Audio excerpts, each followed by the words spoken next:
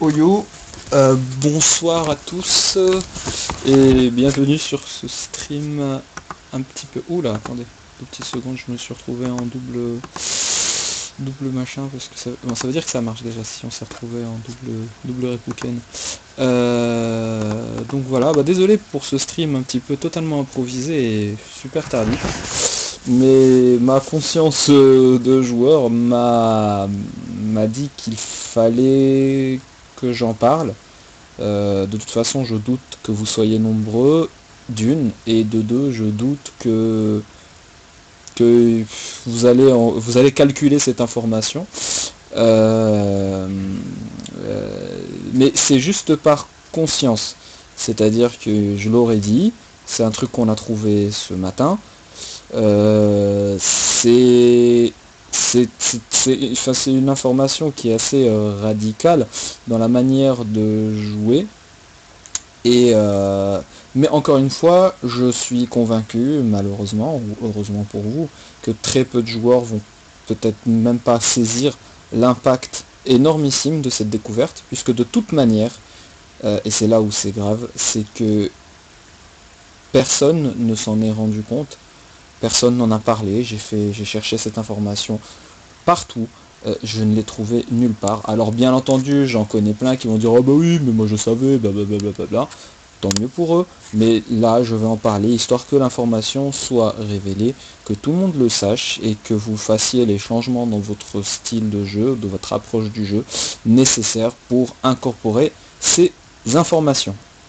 Donc euh, je tiens à remercier mon collègue Tom Sawyer, euh, grâce à qui on a trouvé ça, euh, qui a bien profité de, certains, de certaines possibilités du système de jeu. Et pendant que je cherchais une parade, on est arrivé à une inéluctable vérité qui est la suivante. donc accrochez-vous, essayez de suivre. On va essayer, je ne sais pas, alors je vais vous expliquer ça.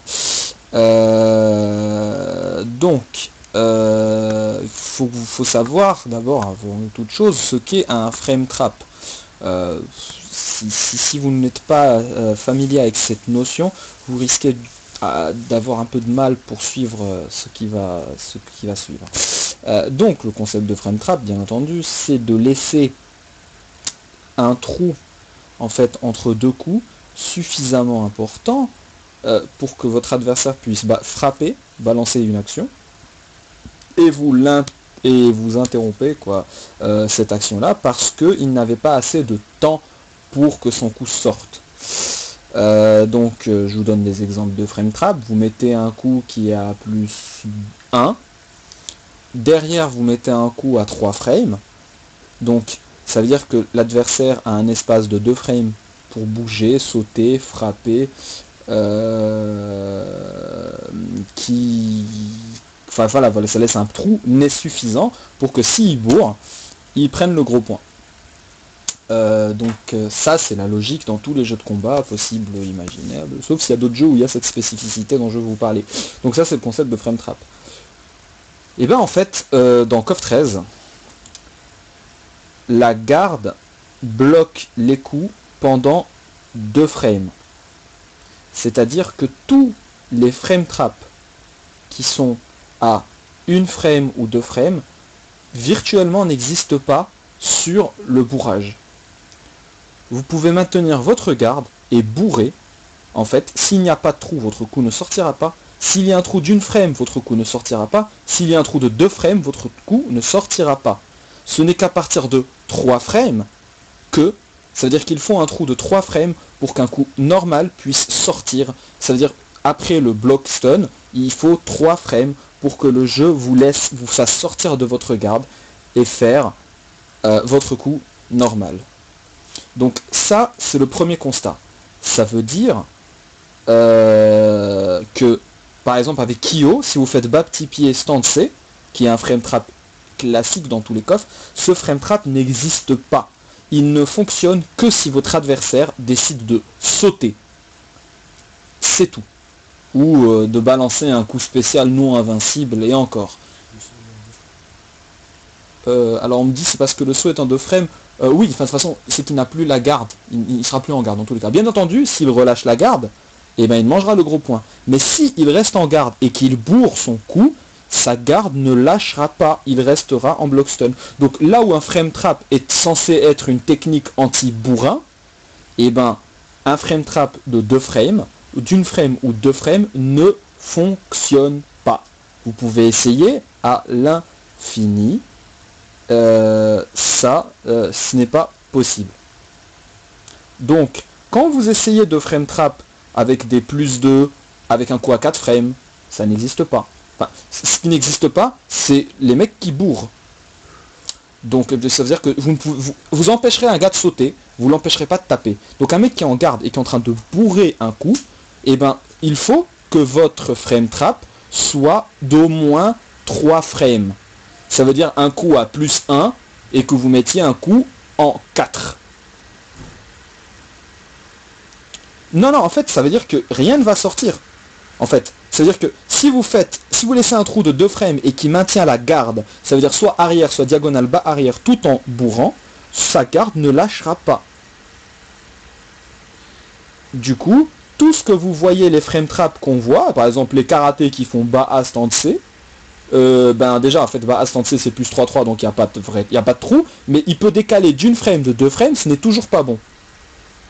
Euh, Kyo Babé stand C, on fait tous, ça n'existe pas. Kim Ba stand C, ça n'existe pas non plus. Et Diolon Ba stand C, ça n'existe pas. Donc, si on laisse un coup, un trou de 3 frames à partir de là, le coup va sortir. Et là, si vous avez suivi ce que je suis en train de vous dire, ça veut dire une chose. Et c'est là l'information à laquelle je veux arriver c'est qu'il est virtuellement impossible de frame trap un adversaire qui bourre un coup en 3 frames. Pour la simple et bonne raison que si que puisque le jeu n'autorise que les trous de 3 frames, si le mec bourre un coup en 3 frames, le mieux que vous allez obtenir, c'est un double contact. C'est le meilleur truc que vous pouvez espérer sur un mec qui bourre un 3 frames. Donc, vous avez bien compris, Mister Karaté bourre bas petit point, stand C, eh ben, il gagnera.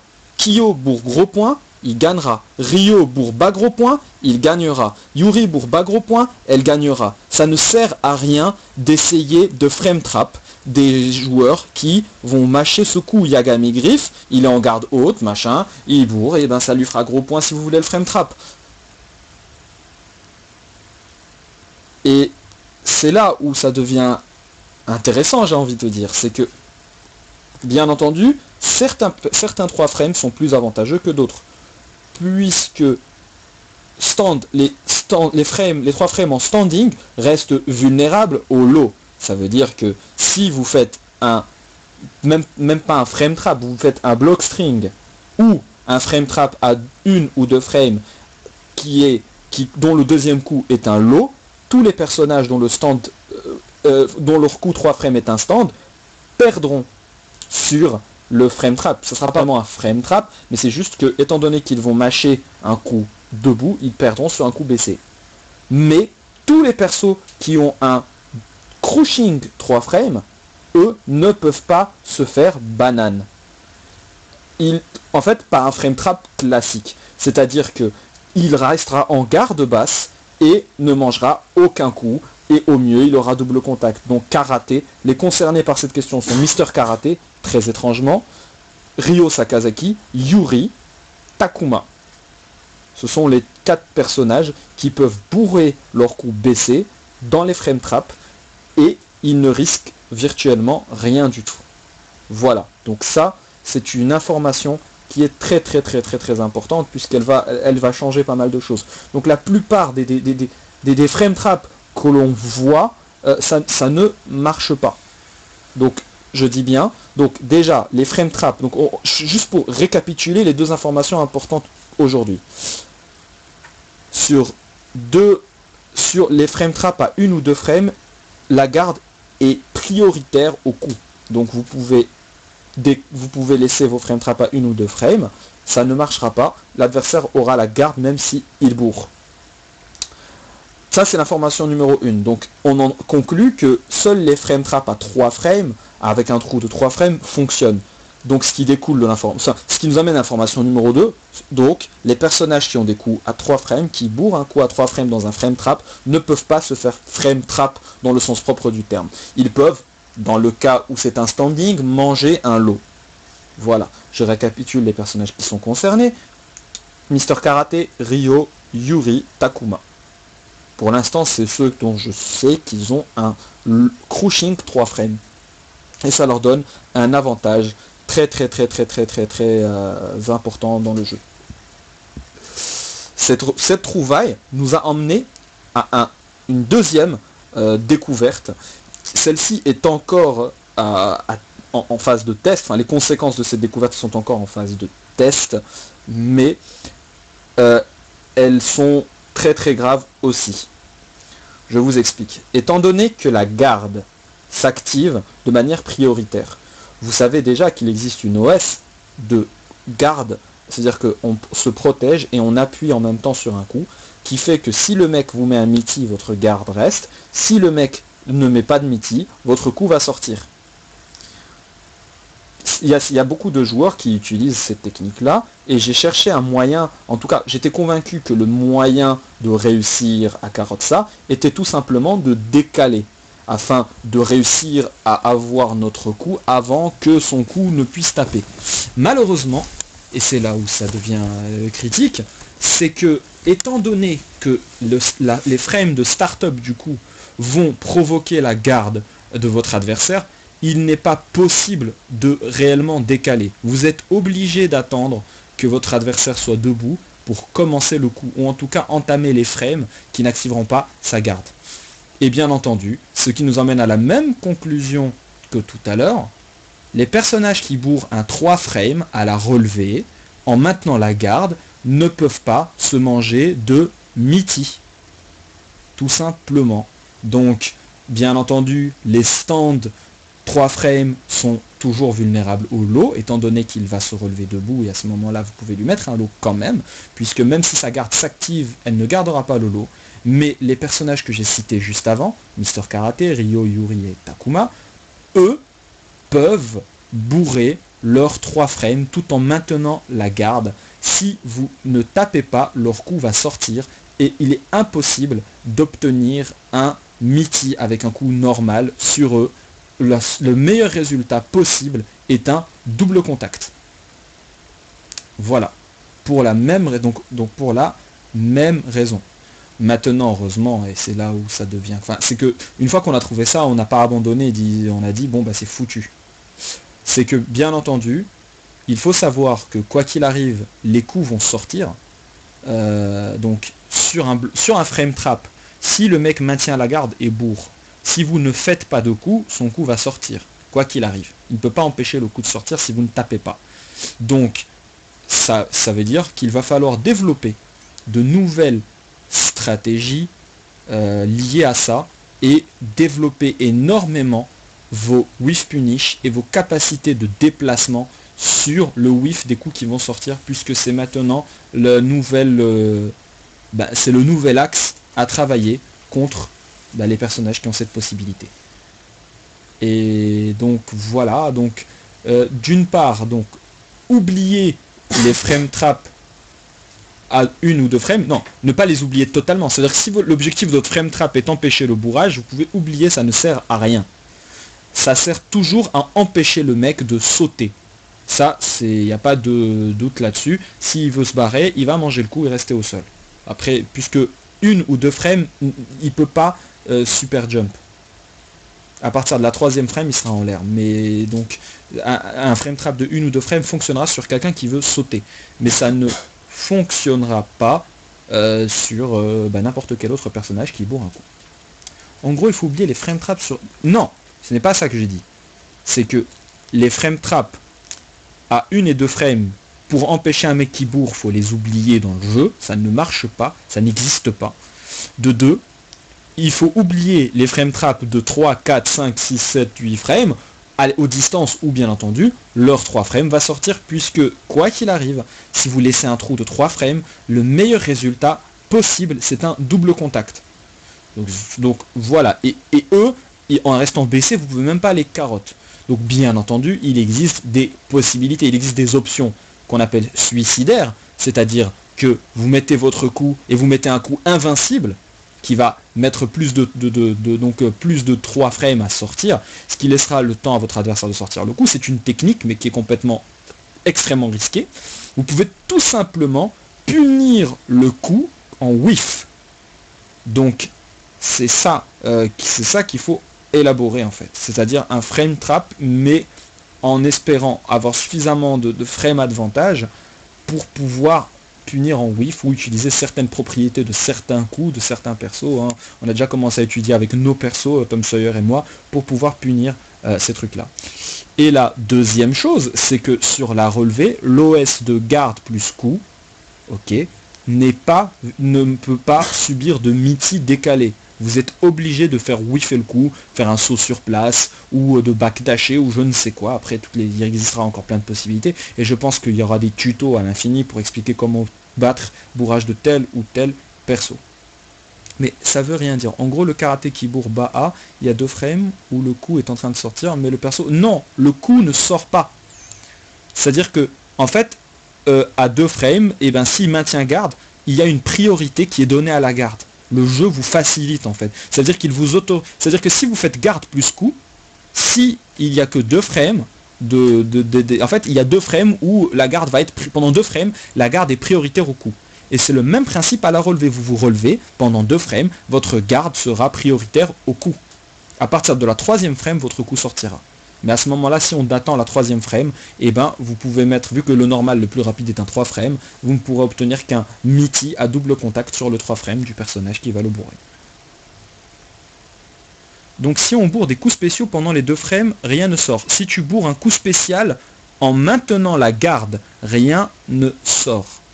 Euh, c'est-à-dire que si tu te débrouilles, par exemple, je sais pas moi, tu as Joe Higashi et tu maintiens garde et tu bourres les 1000 mains X, et ben pendant deux frames, ton coup ne sortira pas. La garde va être prioritaire au coup. Voilà. Donc il y a beaucoup de gens qui n'aiment pas qu'on dise priorité, mais dans ce cas-là, ce n'est pas priorité de tel ou tel coup en l'air, je sais pas, c'est vraiment priorité du système. Euh, est-ce que cette information est claire pour vous? Euh, Est-ce que vous avez compris? Et si vous avez des questions, n'hésitez pas. Mais la vraie question, c'est, puisque autant pour moi, c'est un changement radical dans mon approche du jeu et dans beaucoup beaucoup de choses. Parce que j'ai mangé tellement de coups bourrés dans mes frame traps euh, et j'étais convaincu que c'est moi qui ratais mes frame traps et je me disais c'est pas possible de rater autant. Et en fait, bah, tout simplement que soit le frame trap sort, et réussi et il n'y a rien, soit le frame trap est raté et vous mangez le coup, au mieux double contact en général, vous mangez le coup parce que personne, enfin la précision à une ou deux frames elle est compliquée, surtout si l'écran lag un minimum, et il y a une, un frame ou deux frames de lag, ben c'est quasiment impossible d'avoir le décalage nécessaire pour espérer ne serait-ce que le double hit. Donc voilà, est-ce qu'il n'y a pas un tableau on voit les coups avec les frames? Si tu peux le trouver euh, sur euh, Keikako ou sur euh, Signed by Air, je pense qu'ils ont fait un document. Alors en quelque sorte c'est bénéfique pour le jeu. Je ne sais pas si c'est bénéfique, mais en tout cas ça explique beaucoup de choses d'une. Je pense que vous ça va vous expliquer beaucoup de choses. Et de deux, bah, il faut changer. Euh, euh, il faut changer la manière de jouer ou il faut bourrer davantage puisque vous pouvez bourrer en garde. Euh, enfin voilà, après je sais pas qui va changer quoi. Est-ce que c'est les gens qui vont changer leur... Ah mais j'avais prévu de la musique, pourquoi je l'ai même pas lancé? Oh, c'est triste ça en plus de la musique de circonstance. Euh, donc euh, voilà. Euh, honnêtement, juste par rapport aux gens qui sont dans le chat, pour combien ça change quelque chose à leur approche du jeu ou à leur appréciation du jeu, je suis vraiment curieux. Maintenant, faut plus trap, faut jouer full guard crush. Si, en quelque sorte, oui, euh, suppositoire, c'est... Tu peux euh, opter pour, euh, pour ça, c'est-à-dire que tes frame trap sont, ne serviront... Enfin, les frame trap à une ou deux frames auront pour objectif, oui, de, de, guard crush. J'ai enfin une excuse pour Beau à plus. Moi, m'en fous. De toute façon, les mecs avec qui je joue savent pas garder un, un saut bassé. Merci, c'est mon style. because ça touche aux phases de relevé et je comprenais pas pourquoi ça passe toujours de bourra avec certains persos. Ah bah voilà. Ça aide, ça aide pas beaucoup. Ah bah si, ça aide complètement les top tiers. En fait, les top tiers, comme il disait Tom Sawyer, sont encore plus forts. Puisque bizarrement, les personnages qui peuvent faire ça, et eh ben le personnage qui en profite le plus, c'est Mister Karaté, hein, de très très très très loin. Hein. Ça le rend encore plus fort. Puis c'est les Kyo, les Yori, euh, les persos qui ont des stands de 3 frames, bah voilà. Hein. Kim, stand des 3 frames, bizarrement, voilà.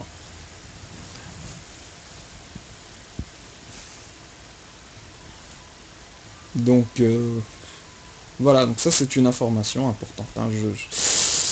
Une fois qu'on a trouvé ça, je me suis dit, bon, on le dit, on le dit pas, on fait quoi? On garde cette info pour nous, mais ça, ça, sert à rien, il faut que tout le monde sache. Mais ce que je comprends pas, c'est pourquoi personne n'en a parlé avant? Pourquoi t'en as parlé avant le Road to Evo? Euh, Tout simplement parce que c'est une information qui ne, change, qui ne sert à rien de garder. C'est pas parce que si je vous dis pas ça, je, vais pas continuer. Mes frame traps vont pas passer pour autant. Euh, ils vont continuer à ne pas passer. Euh, donc euh, qu'est-ce que je vais vous dire Tout ce que je vais vous dire, tout ce que je vais faire de différent, c'est que maintenant je sais que contre les persos qui bourrent, faut que je prévoie des whisk punish, des situations ou des ou des suicides, des punitions suicides, genre tu mets un light et tu mets un coup invincible derrière. Hein. Il faut garder ou pas garder? Il faut garder, ça c'est sûr. Et tu peux garder en bourrant en fait, c'est ça la bonne nouvelle. Si tu le faisais pas déjà, hein, tout le monde le fait déjà, mais tu peux le faire maintenant parce que tu sais que les frame traps à une ou deux frames, tu t'en fous, tu peux bourrer. Si le mec il décale plus, tu fais double contact avec lui. Donc euh, c'est complètement rentable. Oui mais tu aurais pu bourrer le stand C dans les frame traps adverses, mais tout le monde bourre déjà les stand C dans les frame traps, tout le monde, tout le monde, tout le monde. Tu peux, tous les tops entre guillemets, d'accord J'ai fait une session il y a il n'y a pas euh, longtemps, et eh ben euh, tout le monde bourre, c'est tout, tout le monde. Euh, mais maintenant, eh ben, il va falloir trouver des, stratégies anti-bourrage beaucoup plus élaborées ben, que le frame trap, puisque le frame trap c'était une bonne solution. Maintenant, ça ne veut pas dire que les frame traps n'existent plus, hein, bien entendu. Euh, vous pouvez toujours faire des frame traps à plus de 3 frames sur des persos qui n'ont pas de 3 frames. Euh, et, ça marchera, euh, bien entendu. Mais contre les personnages en question, eh ben, ça, n'existe pas.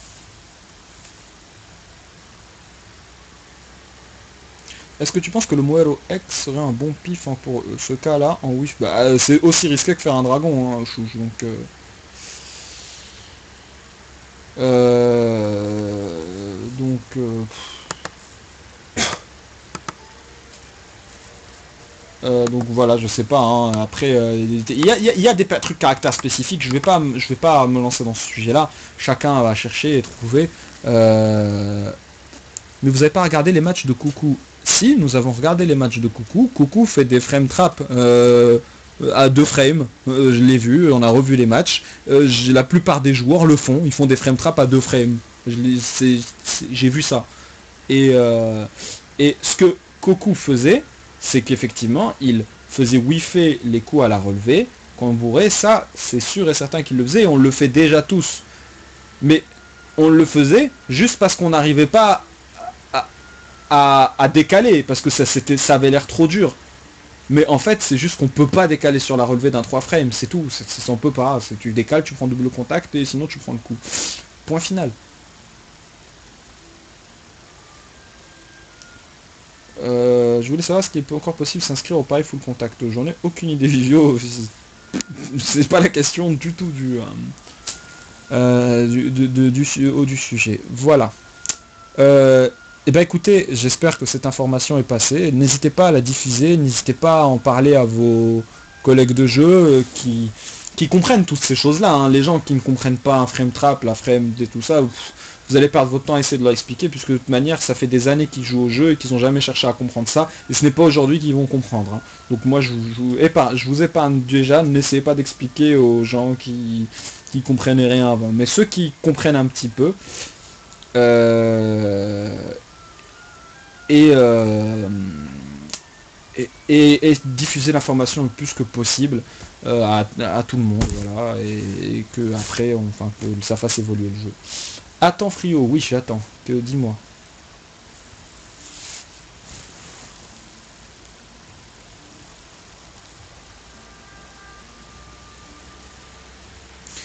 Donc en gros, après avoir mis un coup en garde, t'es inchopable pendant X temps, et t'as la garde prioritaire. Voilà, tu peux comprendre ça. Faut jouer les choppers quoi. Bah oui et non, puisque tu t'es inchopable. En combien de frames sort le Dragon X de Maxima? Euh, Je pense qu'il sort en 6 frames. Mais on n'a pas la frame data hein, de Maxima. Bourrer des 3 frames et faire des frame trap à 2 frames. non, faire des frame, frame trap à plus de 2 frames. À 2 frames, ça n'existe pas. Si, ce truc si, si, le truc ça marche 2 frames et qu'on se lève en bas 3 frames, comment ça se fait que le MITI touche pas à la troisième? Parce que en fait, le start-up du coup, et, en fait, dès que vous allez faire le start-up de votre coup, ça y est, la garde elle est activée, c'est fini. Elle va rester active pendant tout votre coup. Euh, ne confond pas deux notions qui ne sont pas pareilles. Ne confond pas le block stun et le start-up d'un coup qui va activer la garde. Et à ce moment-là, une fois que la garde est activée, et eh ben ça durera toute l'anime du coup, plus le block stun. Donc ça fait que à la revue c'est encore plus mort en fait. C'est-à-dire que tu te lèves euh, en bas à 3 frames, si, si avant d'être debout, il y a un start-up de coup sur ta gueule, et eh ben ta garde va s'activer, tu vas rester en garde, quoi qu'il arrive, même si tu es en train de bourrer ta race.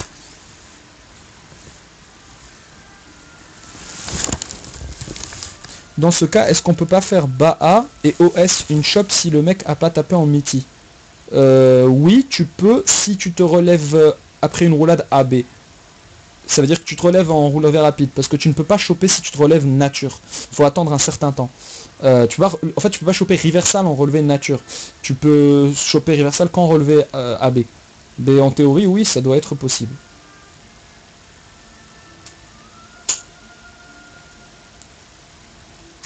Et voilà. Et euh, autre information euh, qui, euh, bon, ça fait un petit moment qu'il y en a quelques-uns qui le savent, mais j'en profite de ce, de ce petit stream pour vous en parler, histoire que ça soit clair. il y a une petite différence entre le player 1 et le player 2 dans le jeu. et ça, il faut le savoir, hein, qu'il n'y ait plus d'histoire.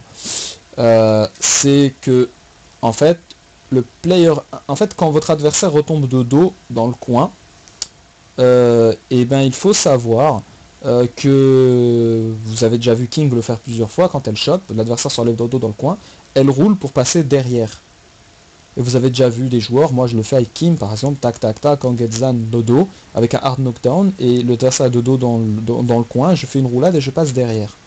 Il faut savoir que seul le player 1 peut passer derrière. Le player 2 ne peut pas le faire. Le player 2 roule et sera toujours devant quoi qu'il arrive, quoi qu'il fasse.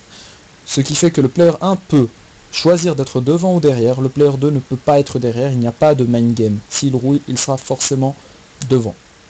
Voilà. Cette information est donnée, ça va faire des embrouilles dans les tournois parce que tout le monde va vouloir jouer au player 1. Mais c'est dit. Et ben voilà, il faut le dire, c'est tout, c'est la merde, on balance tout. Et voilà. Euh, non, dans tous les jeux, il y a des différences player 1, player 2, bah voilà, là il y en a une. Et c'est dit, donc, euh, donc euh, vous en faites, vous en faites ce que vous voulez. Et, et, voilà, donc après ça va faire des janken, des machins, des bidules, je, le sais, ça va créer des embrouilles, parce que des mecs qui s'en foutent de... Ils jouent même pas avec des personnages qui peuvent faire ça, mais juste le fait de savoir que ce que le player 2 ne peut pas le faire, c'est déjà un avantage de ouf pour être player 1. Euh, donc euh, voilà, ça c'est une autre... Cette information elle est moins grave et moins importante que la première. Mais je vous le dis, comme ça il n'y a pas d'histoire. Il n'y a pas à me dire, eh, machin, il, il fait ça, il, il dit pas tout ça. Donc voilà, un player 1, voilà. Euh, ça cet avantage là. Player 2, ben il a la musique, donc après c'est chacun son combat. Euh,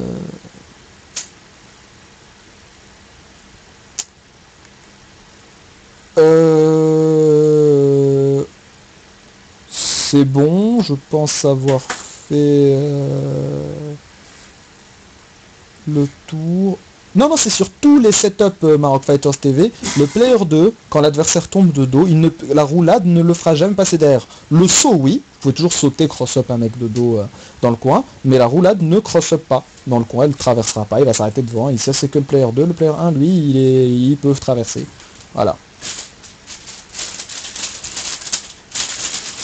Donc pareil, cette information, diffusez-la, faites-en ce que vous voulez, si vous trouvez ça que c'est important.